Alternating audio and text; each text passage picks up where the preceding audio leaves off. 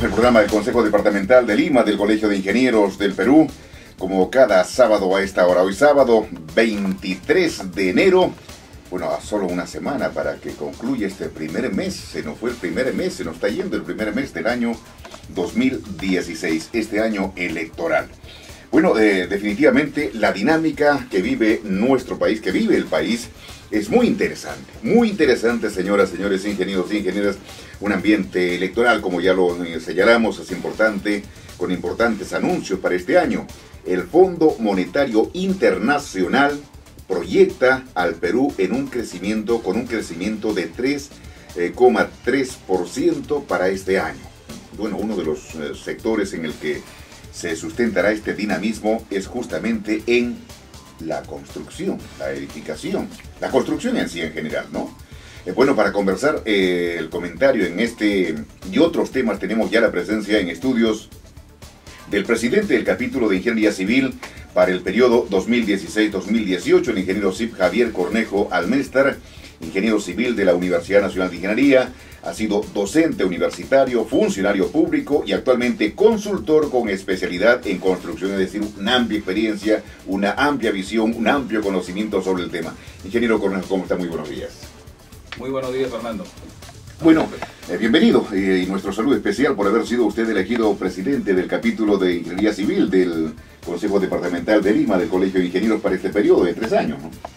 Así es, hemos tenido la oportunidad de de contar con el apoyo de los colegas en el capítulo de Ingeniería Civil y esperamos pues este, todas las propuestas que hemos hecho en este proceso electoral del Colegio de Ingenieros llevarlas a cabo. Definitivamente. Bueno, este 3.3% que proyecte el Fondo Monetario Internacional para nuestro país, auspicioso, conservador o simplemente con expectativa, ingeniero Cornejo. Eh, diríamos con expectativa, ¿eh? o sea, es un porcentaje, no el ideal, para poder ir camino hacia el desarrollo del país, pero viéndolo en el contexto internacional diríamos que es un crecimiento eh, un poco aceptable. Bueno, sabemos que lo importante es ir cerrando esta brecha, la brecha en infraestructura. Eh, ¿Puede precisarnos a cuánto, a cuánto asciende y cuál debe ser la vía a tomar en este objetivo? Eh, bueno, esperamos que en, este, en esta etapa final del gobierno se, se lleguen a impulsar un conjunto de obras que eh, en algunos casos ya están en curso y otras que están por iniciarse. Por ejemplo, eh, a nivel de Lima Metropolitana estamos hablando de la línea 2 del metro, que es una línea importante para el desarrollo del, y la mejora del tránsito en Lima. Y, y, también a nivel de Lima, también una de las preocupaciones es que ya se inicien las obras de, eh, para los Juegos Panamericanos, ¿eh? que va a constituir una de las obras más importantes en infraestructura deportiva a nivel del departamento de Lima. Estamos a tiempo, ingeniero Cornejo, para eh, los Panamericanos. Hemos perdido prácticamente dos años, ¿no? Y no, no hay visos de que algo esté haciéndose, ¿no? Hasta donde tenemos conocimiento, hay ya dispuesto cerca de 3 mil millones de soles para poder ejecutar estas obras. Claro, está dispuesto, pero se ha comenzado ya. Lamentablemente, por trabas, este, digamos, administrativas o burocráticas, este, aún no se lleva a cabo ninguna de las obras. ¿eh? Cuidado, que están, Chile están, están en SEC, están en etapa de estudios, y, pero es importante que, que se retome con bastante ímpetu esto. ¿eh? Y para eso, precisamente, bueno, a nivel de, del Colegio de Ingenieros estamos preocupados y, bueno, con nuestros equipos técnicos podemos colaborar en este aspecto. ¿eh? Pero esa es decisión política prácticamente, porque ya Venezuela y Chile están con los ojos vistos y creo que en los próximos días, meses ya los, los de las personas, las, eh, las autoridades de, los panamericanos van a llegar para ver cómo está la infraestructura, cuánto se ha avanzado. Así es, a mediados de febrero está viniendo una comisión hasta donde tenemos entendido. Sí, es lamentable que se esté retrasando este, este asunto, ¿eh? Y esperemos no, no perderlo. Creo que sería lamentable que, que, el país y Lima perdamos esta oportunidad. Chile y Venezuela están a la expectativa de que, que, el Perú diga no puedo hacerlo, pero sería muy lamentable. Bueno, en este mismo contexto que tiene relación con la construcción para los Panamericanos del 2019, ingeniero Cornejo, eh, la infraestructura, construcción, estamos en un año electoral definitivamente. ¿Qué se le pediría desde, digamos, desde los ingenieros, qué se le pediría como propuestas de los candidatos que hoy están proponiendo todo, ¿no? Pero vayamos a eh, temas específicos como la, construcción, infraestructura, eh, para nuestro país, que es parte del eje del desarrollo. Así es, a los candidatos presidenciales pues les pediríamos que, que tengan equipos técnicos coherentes, que, que puedan este, dar ideas realmente significativas para el desarrollo del país. Creo que eh, nosotros eh, tenemos el compromiso de desarrollar infraestructura eh, para poder ir hacia el desarrollo del país. hay que tener en consideración de que de aquí al 2050 el mundo tendrá el doble de población. Tendremos que darle alimento al doble de la población que actualmente ya tenemos. El 2050 no es, no es lejano lo cual significa pues desarrollar obras de, infraestructura en cuanto a irrigación, eh, electricidad, transporte. Tenemos que duplicar prácticamente la infraestructura que tenemos y entonces es un gran reto eh, que tenemos que plantear obras pues hidráulicas, obras este, de electrificación, eh, los trenes que ya se están, que felizmente ya se está este, conversando. Línea pero 1, hay, línea 2 y se proyecta la línea 3 hasta la línea, hasta línea 6. Hasta la línea 6, que debe concluirse, esperamos, en, unos 10 a 12 años. ¿eh? Eh, tener, esa infraestructura realmente va a permitir solucionar el problema del transporte que hoy día en Lima Metropolitana tenemos. Es agobiante, ¿no? agobiante, si eso, no hay, hay, no hay salidas en caso de emergencia, tener a Lima eh, con, con, salida de escape, como se dice, ¿no? En caso de emergencia, ¿qué hacer, ingeniero, también en ese aspecto? Así es. las líneas del, metro van a constituir una de las herramientas principales para tener eh, toda la ciudad integrada, que prácticamente los recorridos que hoy hacemos en dos horas los podemos hacer pues en 30, 20 minutos. Esa es la gran tarea. Ingeniero Cornejo, esta es una expectativa de la población desde hace muchos años.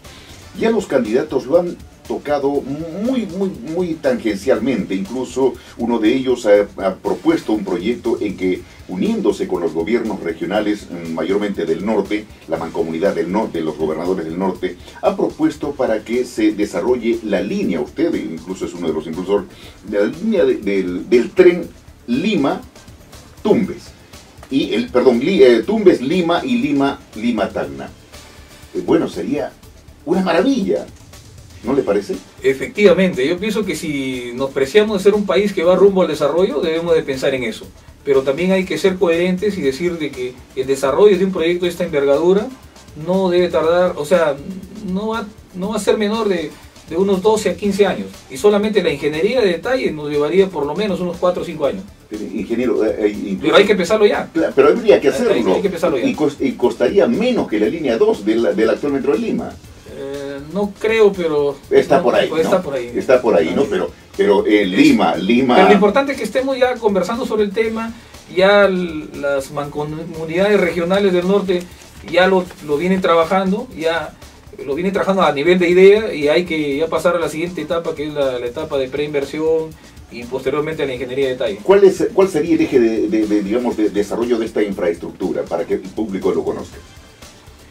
Eh, bueno, eh, eh, hasta donde tenemos conocimiento, es, bueno, la, la, primera etapa sería pues este, desarrollar periódicamente el tren desde Lima hacia la, digamos, hasta Trujillo, posteriormente hasta Chiclayo, Piura, ¿eh? Ese sería más o menos el, desarrollo. Eh, bueno, algunos eh, hablan pues de un tren, otros hablan de un tren bala, ¿eh? yo creo que eso hay que ver las, alternativas económicas. Comencemos con el tren de, de, de 100, de 200, de 200 kilómetros por hora, ¿no? Que 200, y que bueno, después veríamos el tren bala más adelante, pero que comencemos a hacerlo. Así es, eso venimos ya conversando hace muchos años y también estamos hablando también de, del tren que uniría eh, Perú con Brasil, ¿eh? Estamos, este, interoceánico, que, es, justamente lo que habló uno de los eh, ah, de las altas autoridades gobernantes chinos que cuando visitaron hicieron la propuesta, ¿no?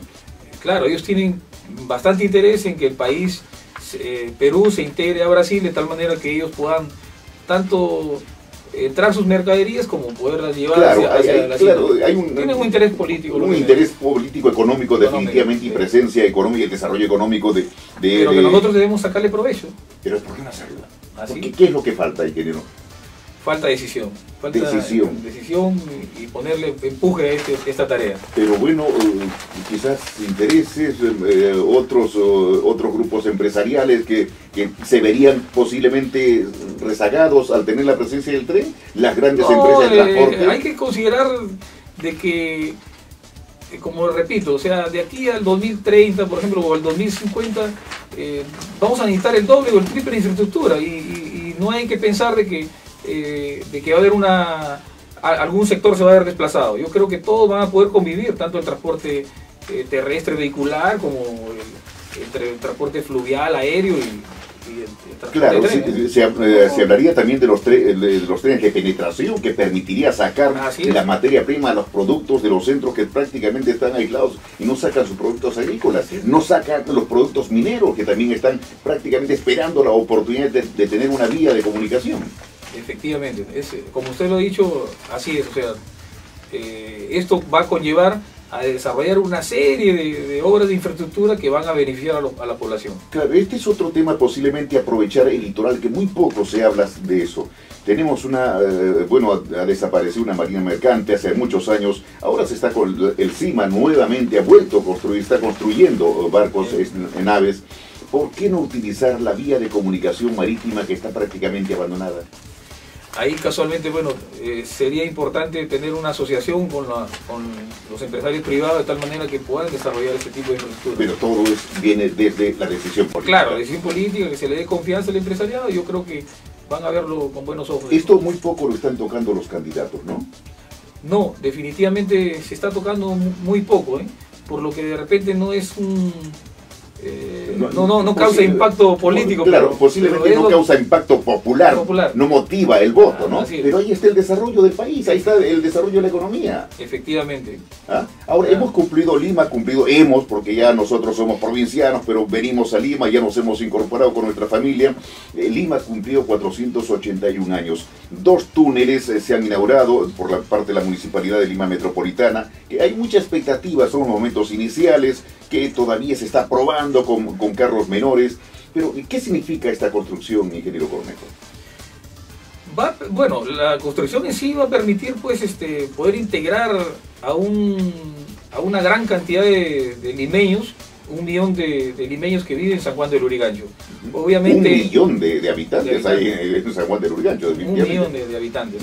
Entonces va a permitir eh, tener una salida y entrada más adecuada ¿eh? a las a las dos que tenemos, que prácticamente es eh, el, sector de Hacho y el sector de, que le denominan Puente Nuevo. ¿eh? Entonces es, un, eh, es una obra importante para Lima y lógicamente hasta donde tenemos entendido está haciendo las pruebas del caso y seguramente como toda obra es perfectible de alguna mejora en cuanto al, diseño vial o a obras complementarias que esperamos este, la Municipalidad de Lima lo pueda hacer. Bueno, finalmente, querido Cornejo, ¿Qué expectativas o qué planteamientos, qué proyecciones desde el capítulo y desde el Consejo Departamental de Lima del Colegio de Ingenieros? Eh, efectivamente, dentro del capítulo y dentro del Consejo Departamental, la idea es poder desarrollar una serie de temas eh, que precisamente eh, debatamos este, algunos temas importantes, no solamente para la ciudad, el departamento de Lima, sino para el país. Para esta etapa esperamos también contar con, con, con los candidatos presidenciales posiblemente, o por lo menos con los equipos técnicos que lo respaldan a, los principales candidatos que se están presentando a las elecciones nacionales, de tal manera de que expongan sus ideas y que también nosotros como colegio de ingenieros podamos dar las ideas que creemos son importantes para el desarrollo del país. Pensando de que los ingenieros son, son, definitivamente los que desarrollan la economía y proyectan el desarrollo del país, definitivamente, ¿no? Así es. El Colegio de Ingenieros del Perú actualmente tiene más de 170 mil integrantes. Somos una masa bastante importante, eh, crítica, y creemos de que el ingeniero debe tener eh, la posibilidad de realmente dar su cuota para el desarrollo del país. Ingeniero em, eh, Cornejo, gracias por estar con nosotros en Palabra de Ingeniero. Muy amable, Fernando, y agradeciéndole el Consejo Departamental de Lima. Perfecto, eh, ha estado con nosotros el, ingeniero Javier eh, Cornejo Almestar, el, presidente del capítulo de Ingeniería Civil del Consejo Departamental de Lima del Colegio de Ingenieros. Vamos a una pausa y continuamos. Palabra de Ingeniero.